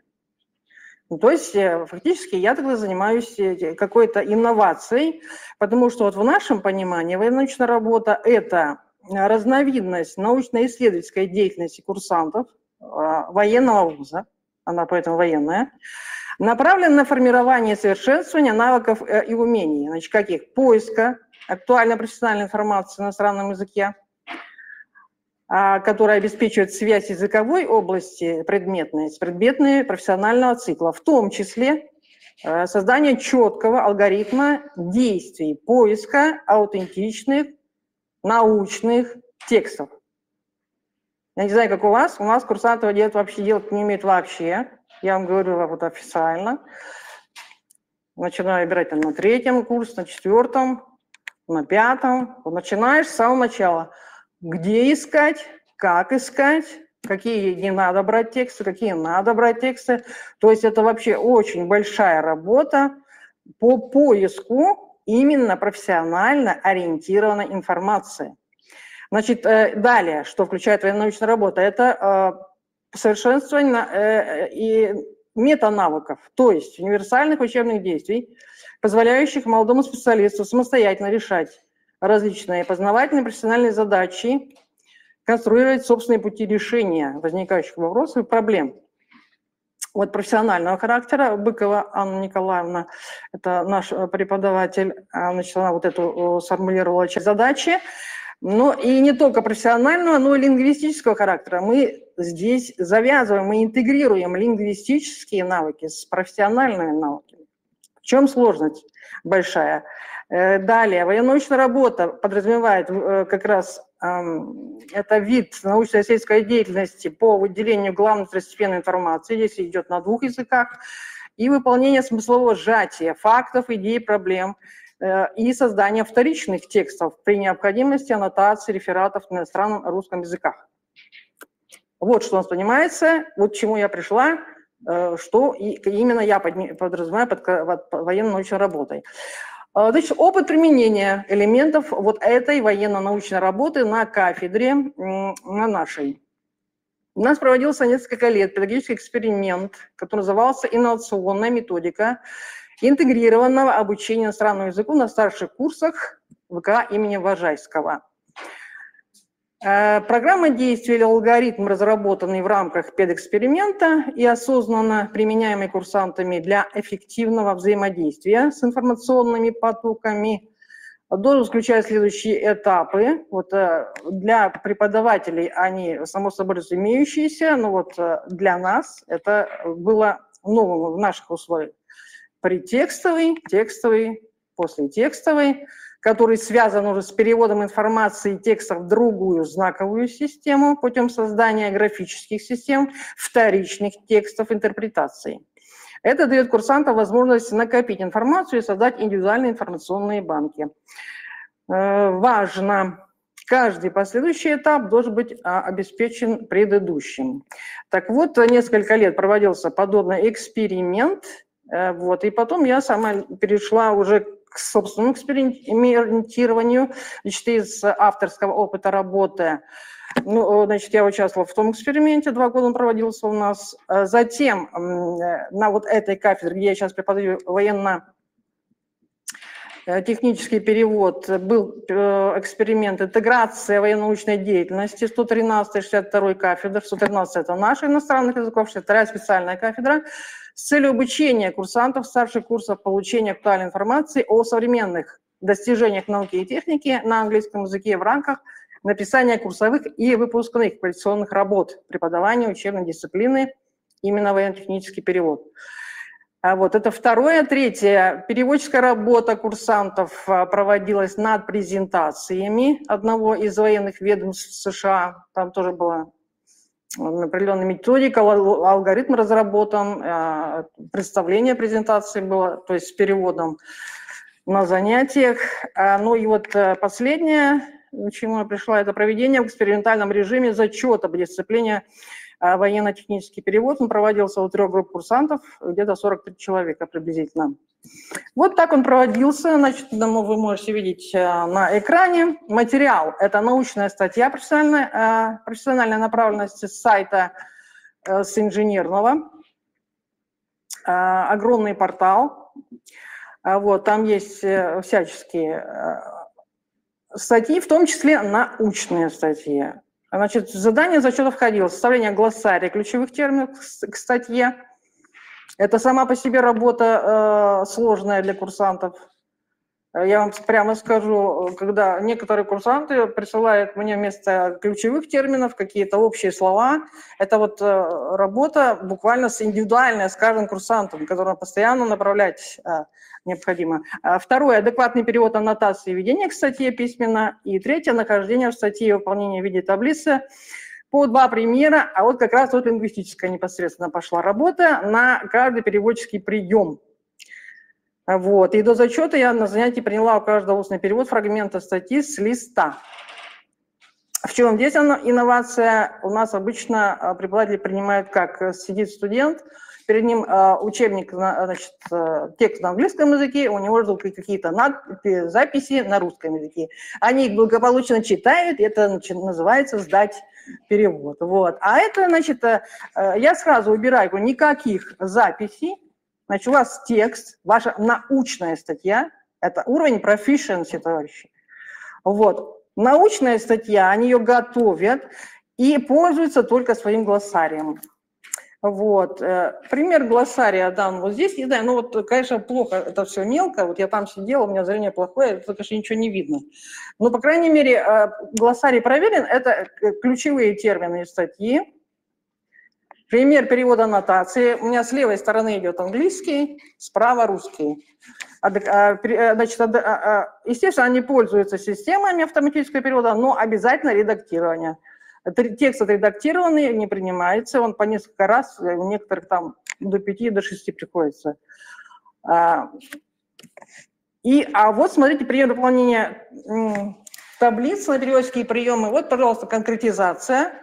Курсант ищет из своей статьи, из научной, предложения, дает перевод и поясняется, почему именно он считает это конкретизация. Это очень сложная работа для наших курсантов. А вот. Но я хочу, сказать, что, а, в общем-то, почти все справились. Ну, тут у меня конкретизация, генерализация. Ну и выводы. Военнаучная работа как часть научно-исследовательской работы курсантов на занятиях способствует, конечно, оптимизации образовательного процесса. Здесь э, соединяется деятельность, деятельностный подход, личностно-ориентированное обучение, индивидуальное обучение, дифференцированный подход и так далее. И, соответственно, знания, навыки, умения, приобретенными курс, э, приобретенные курсантами э, во время такой работы на занятиях по дисциплине математический перевод способствует формированию вот вышеназванной компетенции. Спасибо за внимание. Спасибо большое. Давайте перейдем к вопросам. Правильно понимаю, что вы, ну, вот скажем, я знаю, что с аспирантами такие методики обычно используют в высших учебных заведениях. Вот, хотя идет обучение именно профессионально ориентированных переводов. А вы внедряете это... А я их внедряю, да, вот именно на занятия. Да, на занятия да. с курсантом. Да, на с курсантом. Мне, мне понравилось. Можно тоже вопрос? Скажите, а э, как это перекликается с их э, компетенциями профессиональными, да? То есть, Так вот, я, тут она была названа. Именно перекликается с профессиональными компетенциями. У них же есть э, КТ, э, квалификационные требования. Это, то есть все идет в перекличке с квалификационными требованиями и профессиональные компетенции. Да. Вот у меня есть статья, э, которая звучит именно как э, там, по, по первому эксперименту, практикум по аудиторному, по аудиторному чтению, как э, э, по-моему, сейчас скажу, военно-профессиональная компетенция. То есть это непосредственно связано с э, компетенциями. Как они называются? Профессии нужно, правильно? Я Так а я этим и занимаюсь. Это то, что необходимо для их именно профессионального становления. Именно. Скажите, пожалуйста, я совсем поняла. И там вот они у вас все э, э, как во всех технических курсах, изучают базовые английский, сдают. Забыли благополучно, это снова да? Или что? Значит, у, у нас английский первый курс, второй курс. Третий, четвертый по 6 часов. А вот на этой там по 6 часов, да. И там называется это практикум по внеаудиторному чтению, третий, четвертый курс. Вот. А, э, и причем э, на пятом курсе, в принципе, на многих кафедрах уже яз- языка нет. А вот на некоторых, вот как на этой вот кафедре 62 ну, специальная кафедра, вот у них есть язык, и причем в очень большом количестве. Потому что я вот как-то так скажите, да, Да, да, да. поняла. Э, То есть фактически вы преподаете язык 4 или 5 лет. Да? Из этих четырех или пяти э, два. Это вы преподаете конкретно, а остальные три года кто-то тоже преподает. хорошо, я буду задать. Ваши курсанты изучают английский язык либо 4, либо 5. Да, да, да. Вот не, ваши не в принципе мои, а в, в Академии Можайского, да, четыре или пять. Скажите, пожалуйста, есть ли какие-то требования к э, презентации результатов их подготовки, к сдаче статьи? Вот сейчас мы видели глоссарий э, на слайде, оформленный, ну, по правилам составления слайда, к, например, э, соблюдать Да, я, да, я скажу сейчас. Спасибо за вопрос. Конечно, у них, э, значит, были, значит, ну, если вы поняли, это экспериментальный продукт, это делаю только я. Вот я провела э, один год у э, курсантов второй группы. Значит, у них были требования сдать э, все эти материалы. В письменном виде формируется папка целая. Папка группы. Первая страница – это э, фамилия, имя, отчество курсанта, идет название текста по-английски, и дальше в алфавитном порядке их файлы. В каждом файле отчетный лист, ну, естественно, титульный, отчетный лист, сама статья, глоссарий, перевод аннотации. И э, последнее – это вот работа с э, переводческими приемами. То есть это э, папка, э, они у меня лежат, эти папки, да, это все формируется в папках сделано. Э, отчетная работа, она есть, можно А какой объем такой работы курсанта? Или сколько они должны привести? Э, Значит, э, статья у них была следующего размера. Это объем 15 или 20 тысяч знаков печатных с пробелами. С пробелами. Нет, не важно, пробелы какая разница. То есть 15-20 тысяч, это не важно, хоть 3. Равно. Больше не будет и меньше не будет. А вот скажите, пожалуйста, так это на год какой это объем или на полгода? Для курсанта. Нет, просто мне интересно, какая удаленность вашего Вот э, смотря о чем вы спрашиваете. Вот я сейчас рассказывала про эм, зачет в экспериментальном виде, который проводила я лично. Если вы, так это, то это, это он был э, проведен мной э, единожды, понимаете, это мой опыт работы. Если вы говорите о третьем и четвертом курсе, там идет э, практикум по внеаудиторному чтению. Вот у них идет на каждом семестре э, 10 тысяч, в каждом семестре, то есть Третий курс 10 и 10 – 20 тысяч, четвертый курс 10 и 10 – 40 тысяч. У них отчетный лист, который переходит из семестра в семестр. И там все прописывается, чего они прочитали, сколько, и это учитывается. Вы пришли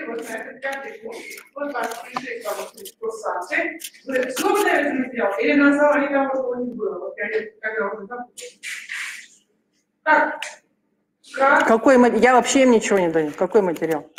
Я не даю никакой материал, потому что они... Значит, они идут в библиотеку находят, правильно?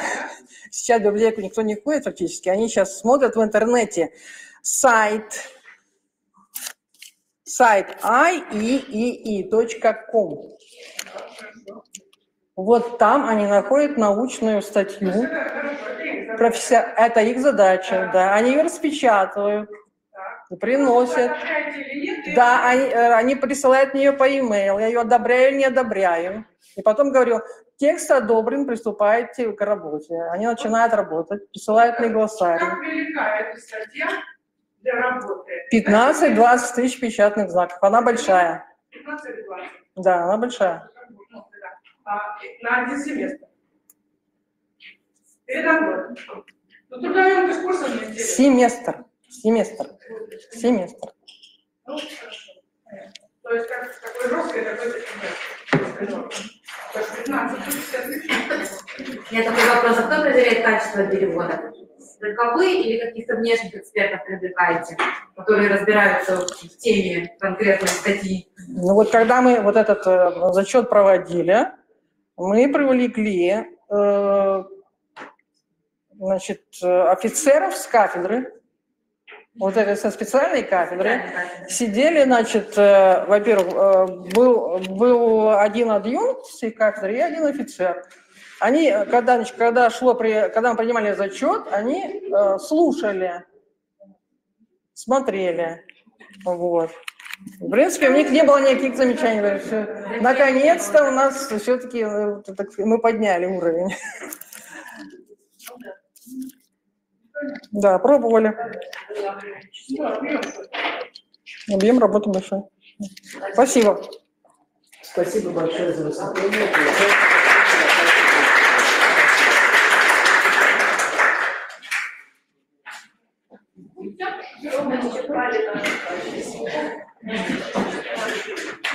Спасибо всем большое докладчикам, молодцы слушатели, я очень за вас рада.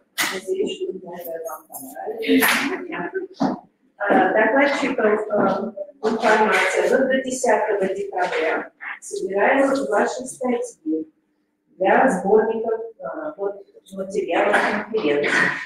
Поэтому кто еще что-то дорабатывает, дорабатывайте и присылайте. Вот. И сертификаты мы Сертификаты отправим по почте. Сделаем, в понедельник пришлем. Мы все выходим отдыхать. Всем большое спасибо за выдержку, дисциплину и хорошее настроение. Желаю вам хорошего вечера. И надеюсь, что наши обсуждения, э, какие-то новые мысли у вас в голове зародили. А надеемся, что вы э, чуть лучше что-то узнали и какую-то тему новой познакомились, которая будет дальше развиваться. Будем ждать на таких мероприятиях и ассоциации, и у УВМЕ. Всем хорошего. Следующее мероприятие, которое мы готовим, Прикол. Скоро будет, да. Скоро встреча, если может быть прием наших а, вот да, да, да, да. Все, я просила.